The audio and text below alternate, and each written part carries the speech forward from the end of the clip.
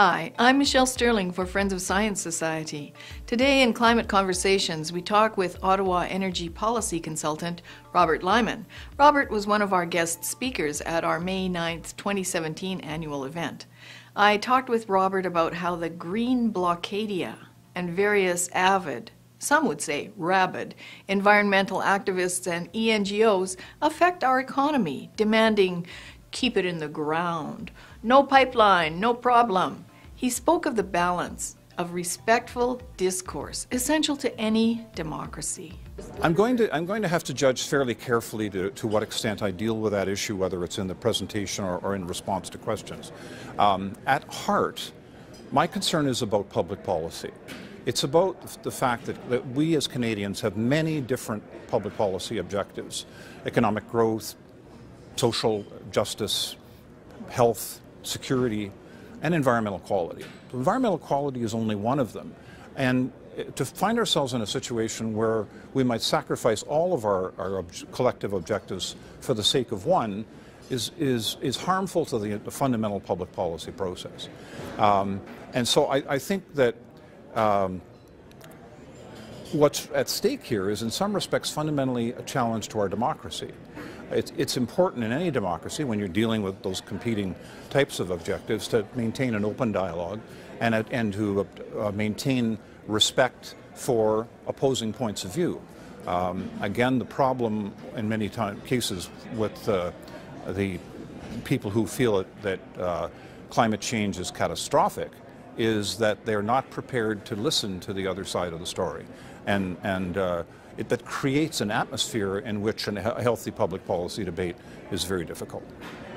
It seems that a succession of governments have gone along to get along in agreeing to ever more stringent targets, sometimes to get votes, sometimes to play nice on the world stage, but with no particular intention of meeting these targets. But the next government inherits these demands and ever more vocal activists.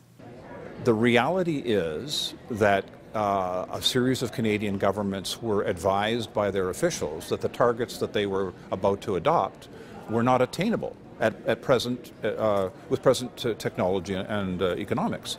They went ahead and they adopted them anyway because they felt, frankly, that there's no downside to promising to reduce emissions, only to actually doing so. Uh, and, um, and so we, we find ourselves in a situation where the uh, targets were successively missed, and in, as a consequence, they adopted ever more stringent targets. Um, and uh, at, at, some stage, people will call a halt. Uh, the reason is that while the politics of it is a bit, a little bit cynical, if you will, um, politicians are still left with one significant problem from that and that is that these unfulfilled promises give to the environmental groups a proverbial two by four with which they can beat the federal politicians about the head and shoulders. And they do. Robert had some observations of Canada's Prime Minister, who initially framed himself as a climate leader and a champion to climate laggards. Now, with legally authorized pipelines set for construction, it, it seems like various regional parties are either blocking or attempting to use their vocal blockadia to make money for social license from companies that have received federal authorization. And that was based on a thorough technical, economic, social, and indigenous consultation process and review via the National Energy Board.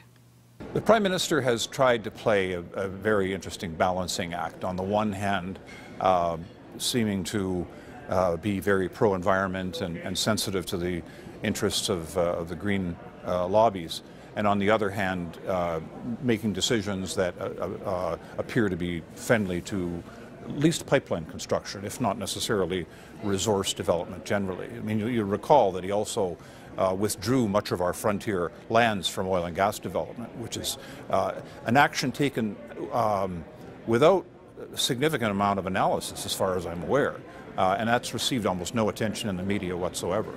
Um, but uh, he's finding himself now in a situation where trying to, to achieve this balance places him in a difficult situation between one set of provinces and another. On the, on the one hand, you have the, the legitimate economic interests of, of Alberta and Saskatchewan and, and ultimately uh, Newfoundland and Labrador in the north. And on the other hand, you have uh, the efforts by, by provinces like British Columbia and to some extent Ontario and Quebec to extract money from uh, the, transport companies, uh, in effect to impose an interprovincial trade barrier, which uh, will, the effects of which will fall upon the producing provinces. So I, I don't know how long the Prime Minister will be able to successfully maintain that balance. For Friends of Science Society, I'm Michelle Stirling. Join us, donate, share our stuff. We need to have an open, civil debate on these important matters.